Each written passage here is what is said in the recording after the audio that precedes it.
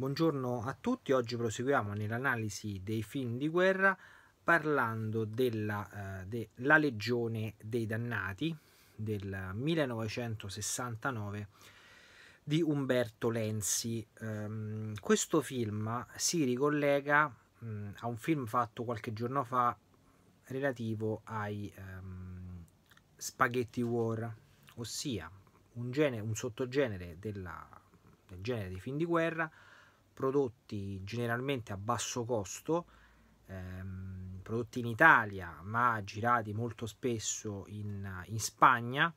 tra la metà degli anni 60 e tutti gli anni ehm, 70. Questo tipo di, di, film era un film, come detto, a basso budget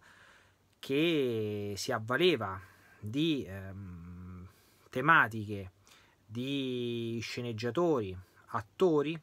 che avevano molto in comune con il genere western e il genere d'azione in genere. Quindi in questo, in questo senso ehm, la cinematografia italiana eh, trovò molto conveniente mh, imitare una certa cinematografia americana principalmente e seguire quella fortuna che da Sergio Leone in poi ebbe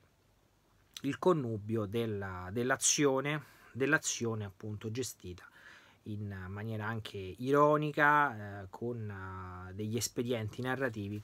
abbastanza ricorrenti legati al tradimento, alla, uh, a un gruppo che deve compiere una missione. E questo film, La Legione dei Dannati, non, non fa eccezione. Lenzi, che aveva avuto e avrebbe avuto altre esperienze nei film uh, di guerra,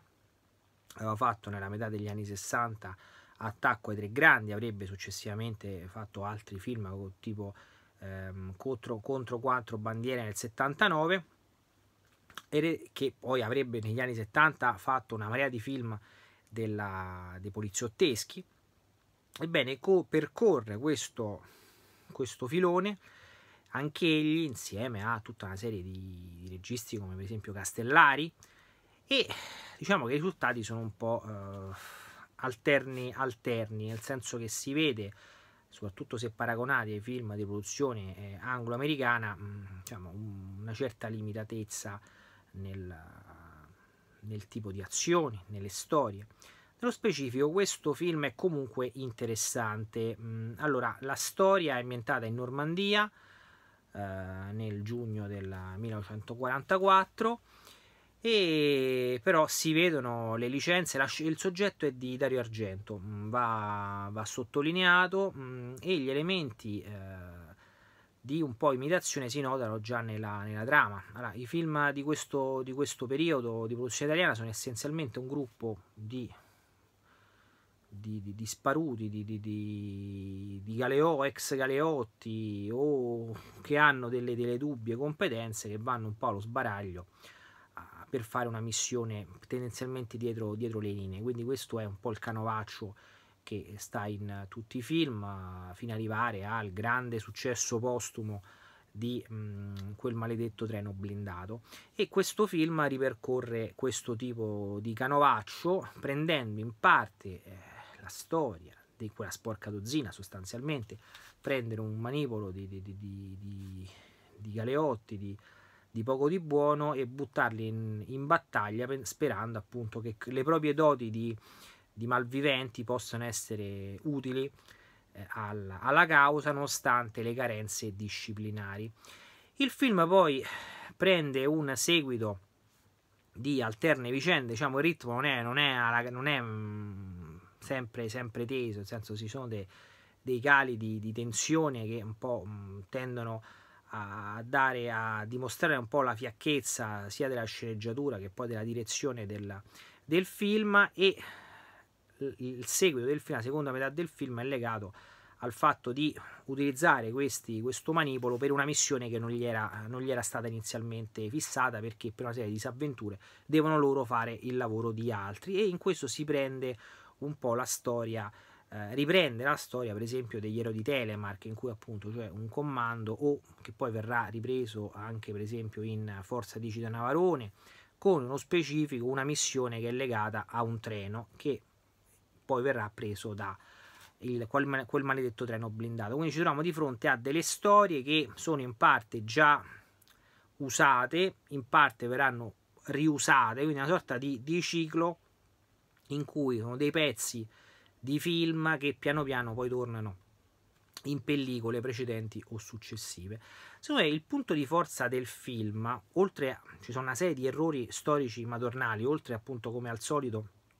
le ambientazioni che sono ambientazioni tipicamente mediterranee con ulivi, con uh, pini, con uh, dei c'è un ponte, a un certo punto c'è un ponte su un, un, fiume a strapiombo che in Normandia non c'è, quindi evidentemente è una situazione presa in Spagna con dei casali tipici dell'architettura western che in Normandia non ci sono, in Normandia in genere i casali sono di pietra, non ci sono delle pietre, non sono di, di legno con le assi tagliate, quindi questo è anche un po' un, um, un elemento ricorrente di queste, di queste ambientazioni poco realistiche nell'ambiente della, della Normandia, ne abbiamo parlato in quella, la battaglia dell'ultimo Panzer e errori per esempio che c'è questo comando di eh, inizialmente di, cioè, in tutti inglesi tranne uno poi verranno altri inglesi che poi faranno una brutta fine che sbarcano a Omaha Beach. Omaha Beach era una zona legata agli americani quindi gli inglesi non c'entrano niente. Tra l'altro il generale all'inizio affida questa missione al colonnello dicendo allora lo sbarco avverrà il, avverrà il 6 giugno quando in realtà il 6 giugno è una data che verrà dopo nel senso inizialmente lo sbarco era il, um, il 5, quindi anche qui ci sono degli elementi che vanno un po' a stonare con la storia, la storia veramente eh, avvenuta. E mm, tra l'altro il comando viene spostato con un sommergibile che dalla livrea, anche vedendo i, i, la numerazione, non è un errore in senso tecnico, però viene utilizzato molto probabilmente, anzi sicuramente, il sommergibile italiano Leonardo da Vinci, vedendo la, il numero stampigliato sulla, sulla livrea della, sulla torretta del sommergibile, che tra l'altro era un sommergibile americano durante la seconda guerra mondiale, quindi cioè, ci può anche stare. Oltre a degli errori sulle luci, giorno-notte che si alternano, diciamo errori di montaggio di questo tipo. Secondo me la cosa interessante del film è, sono, sono, a parte la musica, la musica di Marcello Giombini, che è un musicista che si era dedicato anche lui al genere western, ha fatto anche musica liturgica, cioè un, un compositore abbastanza eclettico che va, va, comunque citato, ma secondo me la, la cosa più interessante è i tre attori tedeschi che fanno i cattivi. I cattivi, secondo me, se io avessi dovuto spendere dei soldi per, per questo film, appunto l'avrei dati per i cattivi e secondo me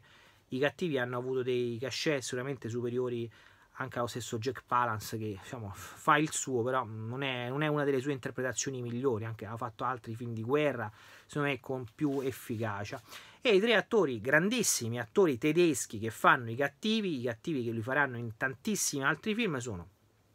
Kurt Jürgens eh, Wolfgang Price e Gerhard ehm, Herter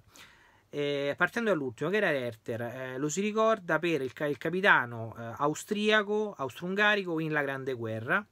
quello che appunto poi manda a fucilare eh, Iacovacci e Busacca, che interpreterà poi il generale in eh, I due colonnelli con Totò, per dire. Volon Price, invece, che ha fatto una marea di film, ha fatto eh, l'attentato del 20 luglio, che era negli anni 50, film, furono diversi film sull'attentato del 20 luglio